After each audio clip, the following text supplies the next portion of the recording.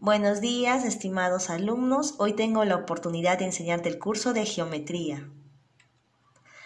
Bienvenidos. Motivación. Mencionar el nombre del siguiente polígono. Contando sus lados o sus vértices, el polígono es de 10 lados. ¿Cómo se llama un polígono de 10 lados? Se llama decágono. Muy bien.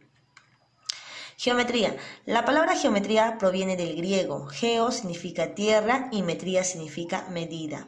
Entonces, es la parte de la matemática que estudia las propiedades y medidas de todas las figuras geométricas.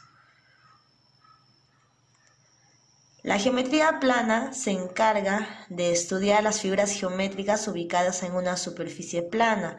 Ejemplo, ahí tenemos un triángulo, un trapecio, un hexágono y un rectángulo. Elementos de la geometría. El punto. El punto es una marquita redonda que se denota con una letra mayúscula. La recta. La recta es un conjunto ilimitado de puntos que se extienden en direcciones opuestas, como se muestra en el gráfico la recta AB.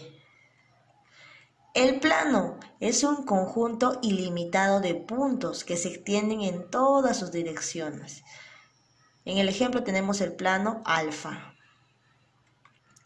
La semirrecta es un conjunto ilimitado de puntos que se extienden en una sola dirección.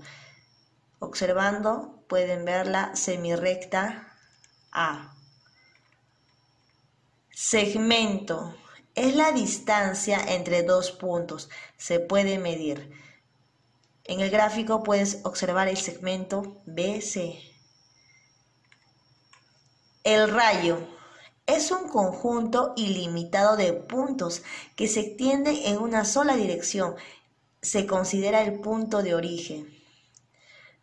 Pueden observar el rayo AB. Punto medio. Es el punto que divide el segmento en dos segmentos iguales. Puedes observar el segmento AB y el punto medio viene a ser la C, que se divide en dos partes iguales.